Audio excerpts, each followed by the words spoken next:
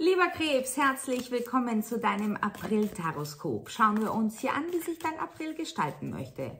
Energetisch, praktisch, zwischenmenschlich. Oder aber vielleicht auch, was du sogar am besten ganz außer Acht lassen solltest. Zu diesem Video gibt es wie immer bei mir eine Extended-Version. Den Link dazu findest du hier unterhalb des Videos in der Infobox. Drück dann drauf, du wirst automatisch weitergeleitet. Der Krebs im April.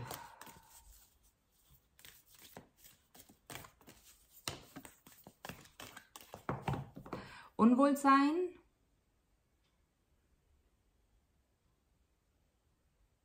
Sich fehl am Platz fühlen. Wird ersetzt.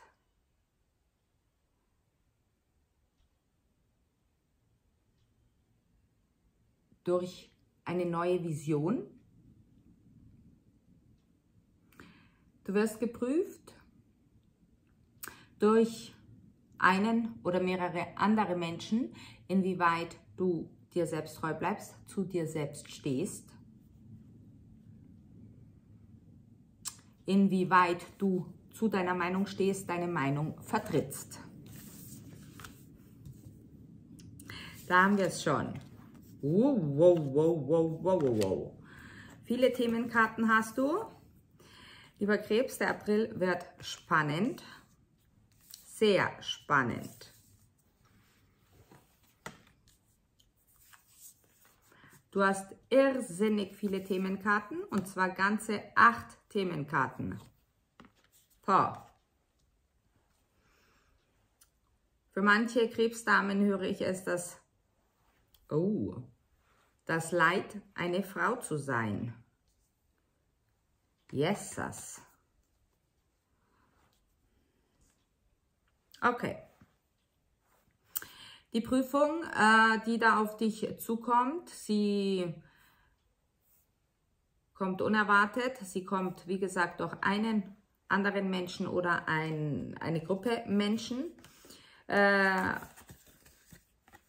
gut möglich, dass du vor vollendete Tatsachen gestellt wirst oder ja, dass man dir Vorwürfe macht.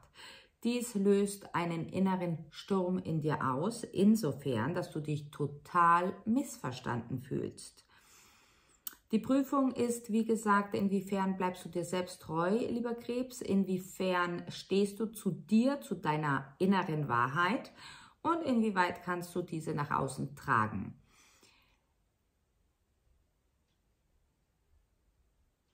Diese, dieser Mensch oder diese Gruppe Menschen sind es gewohnt, sich immer behaupten zu müssen, äh, bevormunden gerne und ja, sie sagen salopp, aber es ist nicht salopp gemeint. Diesmal musst du dran glauben. Doch, lieber Krebs, es ist eine Prüfung für dich, in der du über dich hinaus wächst, aus dir herauskommst. Denn du setzt knallharte Grenzen. Du sagst bis hierhin und nicht weiter. Und das ist genau das, was du brauchst. Warum brauchst du das? Du brauchst das für das, was dann darauf folgend kommt. Habe Mut, Grenzen zu setzen. Habe Mut, auch einmal Nein zu sagen, bis hierher und nicht weiter. Es ist äh, jemand, dem dein Schein, dein Glänzen sehr, sehr gut gefällt. Jemand, der davon sehr, sehr angezogen ist. Ähm, und komischerweise genau das wird kritisiert. Ist es Neid? Ist es Eifersucht? Ist es der Eifer, dich imitieren zu wollen? Du kannst durch den Schleier des unbewussten Sehens, lieber Krebs. Höre auf deine Intuition, höre auf dein Gefühl. Du schaffst es, wie gesagt, durch die Grenzsetzung schaffst du es auch, genau das äh, Thema mitsamt dem Menschen dahinter auf einen Punkt zu bringen. Ich würde fast sagen, dass äh, du diesen Menschen oder diese Gruppe Menschen es hört sich krass an, doch es kommt so durch, aus deinem Leben verbannst. Du cuttest sie wirklich raus. Es ist... Ähm,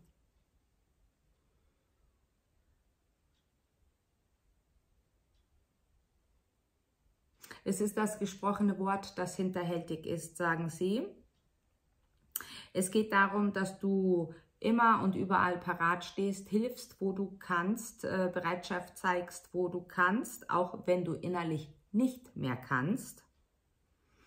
Und das, was da jetzt auf dich zukommt, geht zu weit. Du hast eine messerscharfe Beobachtungsgabe, eine messerscharfe Intuition, die dich niemals täuscht. Und das, was bei dir im April zurückbleibt, ist das Gefühl, das äh, die anderen in dir auslösen, dass sie dir vermitteln. Dieses Gefühl kennst du schon aus deiner Kindheit, dieses Gefühl kennst du aus deiner Jugend. Es ist das Gefühl, sich hm, nicht wertig zu fühlen, nicht gleichwertig zu fühlen. Doch, äh, lieber Krebs, du stehst niemandem in nichts nach, in keinster Weise. Es sind die anderen, die richten, urteilen und bewerten. Und das ist ja das, wo wir alle rauskommen sollten. Auch wirst du feinstofflich ähm, gefördert, gleichermaßen. Äh, dadurch, dass du ja sehr viele Signale bekommst, Impulse bekommst, Informationen an Downloads bekommst. Du siehst genau die Schattenseite gewisser Menschen.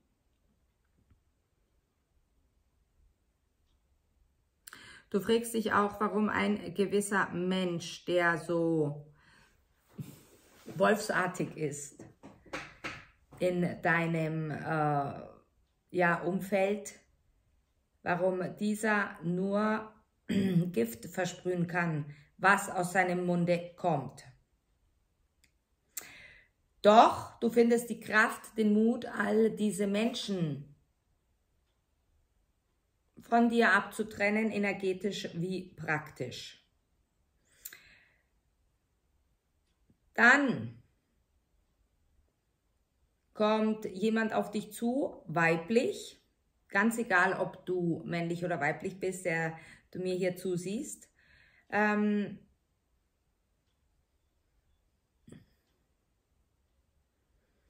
Diese weibliche Person ist sehr, sehr attraktiv, sehr, sehr grazil, sehr, sehr sanft.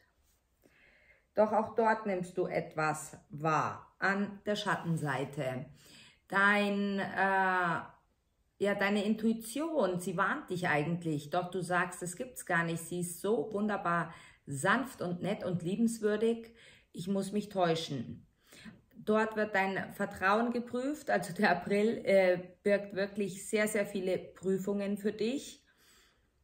Höre auf deine Intuition. Äh, ich kann dir wirklich diesbezüglich nicht mehr auf den Weg mitgeben, als deiner Intuition wirklich blind zu vertrauen und blind zu folgen. Ist ein bisschen ein, ein krasses äh, Reading, ich weiß. Ähm,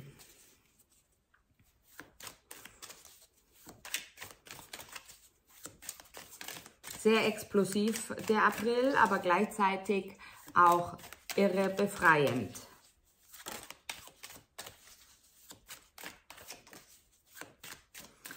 Falls dich eine Gruppe Menschen in Konflikte mit hineinbeziehen möchte, nicht beabsichtigt, doch dich vielleicht als Schiedsrichter möchte, halte dich raus, beobachte aus der Ferne.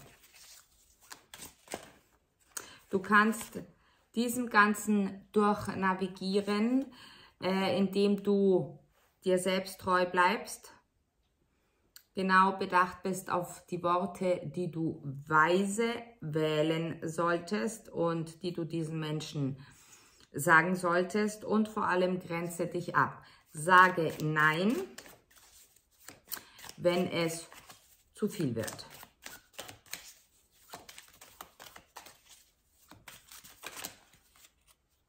Der 10. April ist für dich ausschlaggebend. Dort ähm, möchte dich ein Mensch stark beeindrucken. Doch auch dort liegt eine Prüfung äh, drin und zwar Mitgefühl zu entwickeln.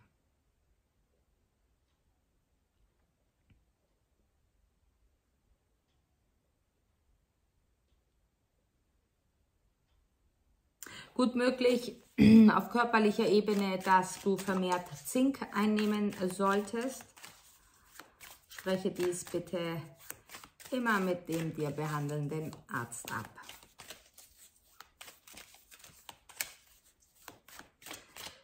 Auch äh, für diejenigen, die Sport betreiben, vor allem mh, sehr viel Muskelaufbau mit den Beinen, betreiben. Dort bitte Vorsicht vor eventuellen Knieproblemen, die da aufkommen könnten, wenn zu viele Gewichte oder zu viel Schwere ja, als Last genommen wird.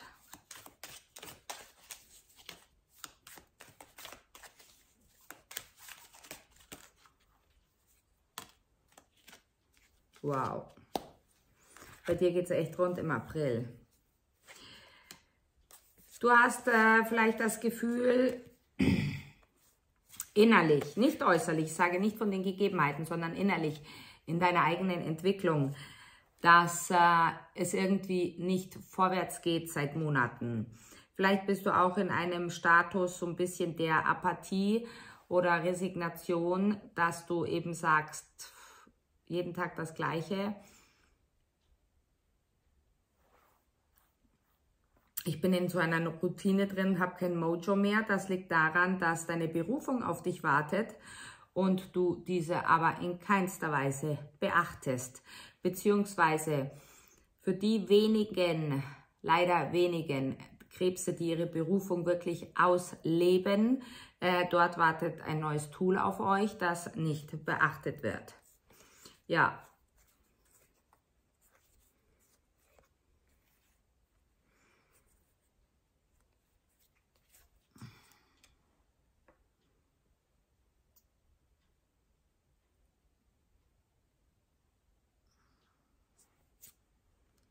Ihr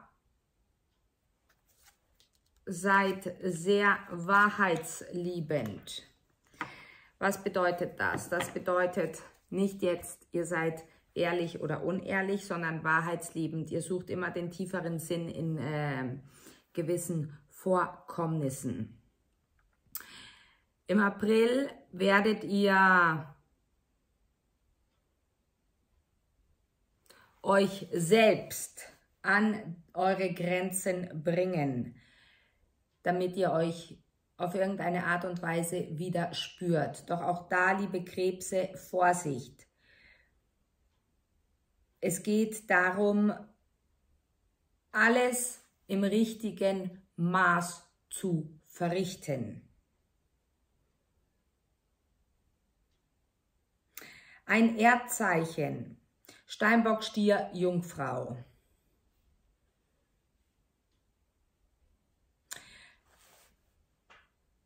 Erteilt ein Urteil, kommuniziert. Gut möglich auch, dass äh, dies, dieses äh, Sternzeichen, dieser Mensch auf irgendeine Art und Weise verhindert ist und dir in irgendeiner Art und Weise nicht gerecht werden kann. Du siehst, meine Stimme versagt schon. Und das sind bei mir immer die Zeichen, entschuldigt bitte, dass etwas nicht stimmt, beziehungsweise die Kommunikationsprobleme da sind. Der Stier, der Steinbock oder die Jungfrau. Sagen nicht wirklich, was Sache ist, sagen nicht wirklich, wie es ihnen geht, Es ist, als würden sie fadenscheinige Aus Ausreden erfinden, was sie aber nicht tun, um Gottes Willen, keine Unterstellungen hier, sondern sie wissen sich nicht besser zu helfen. Äh, sie haben Angst vor, der, vor den Konsequenzen. Dort, lieber Krebs, selbstverständlich durchblickst du diese Situation. Dort kannst du helfen durch dein Wirken. Es ist im Endeffekt ein mentaler und physischer Erschöpfungszustand. Also nicht der deine von diesem Erdzeichen. Wenn du bereit bist zu wirken, kann dies ähm, begleitend sehr, sehr unterstützend wirken.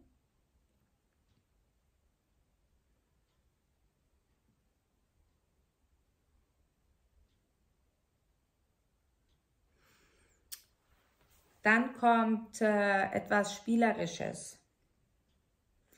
Das Spielerische ist äh,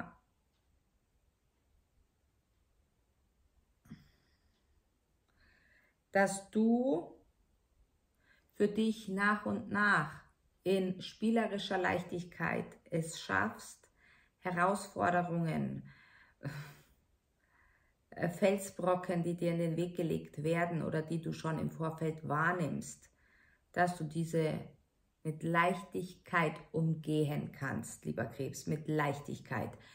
Denn du hörst auf deine Intuition. Wir haben hier sehr viele Menschen, die dich beeindrucken wollen, sehr viele Menschen, die von dir wollen, sehr viele Menschen, die in dein Leben einwirken. Vor allem eine jüngere Person, 7 bis 17 Jahre alt, äh, weiblich,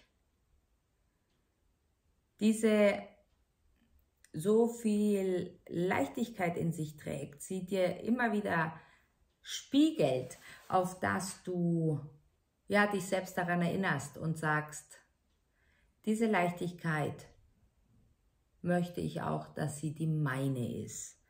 Und plötzlich denkt der Krebs an sich. Der Krebs denkt an sich und beginnt Nein zu sagen. Auf und davon ist der Krebs. Gut möglich, dass du einen Kurztrip planst, um einen Tapetenwechsel zu haben. Gut möglich, dass du kurzerhand deine Wohnung kündigst und umziehen möchtest. Es kommen kurzerhand unvorhergesehene Veränderungen, lieber Krebs. Diese unvorhergesehenen Veränderungen sind für dich Gold wert.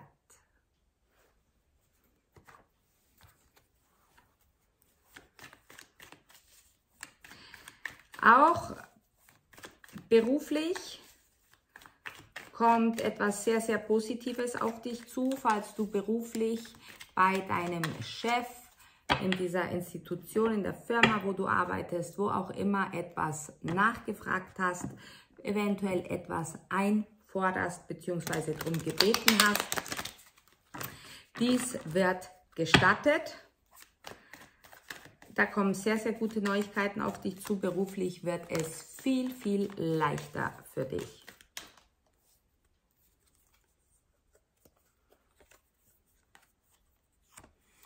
In der Tat.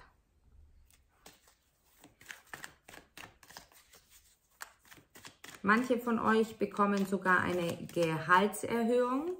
Manche von euch bekommen den Job, den sie wollen. Manche von euch kommen in eine höhere Position. Manche von euch werden auf euer Geheiß hin, auf eure Nachfrage hin ins Ausland versetzt. Wisse jedenfalls, es wird dich sehr, sehr glücklich machen. Du wirst sehr, sehr erfreut darüber sein, in Feierlaune sein. Nichtsdestotrotz, dass es im Hintergrund doch brodelt in diesem Sturm. Doch du lässt dich von all dem gar nicht beeindrucken. Wie wunderbar. Du lässt dich nicht beeindrucken, lieber Krebs. Du bist einfach nur du, du bleibst dir selbst treu. Und da haben wir da dieses Feuerzeichen, das dir ein unmoralisches Angebot macht. Es ist ein Angebot für eine gemeinsame Zukunft.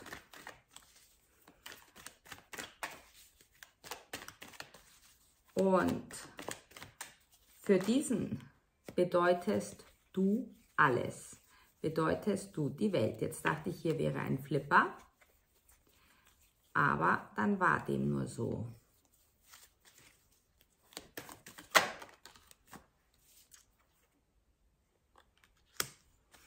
Romantik pur. Freu dich drauf. Wir machen weiter im Extended. Bis gleich. Ich warte dort auf dich. Ciao.